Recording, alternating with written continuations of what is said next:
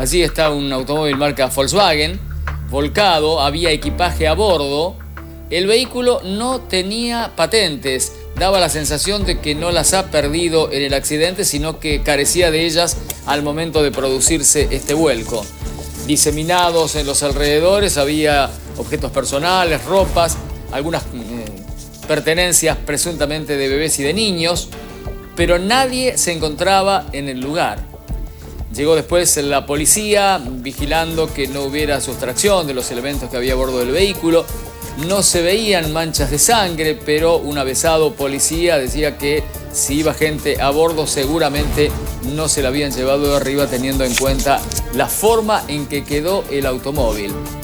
Los primeros que lo vieron acusan haber pasado por el lugar alrededor de las seis y media de esta mañana.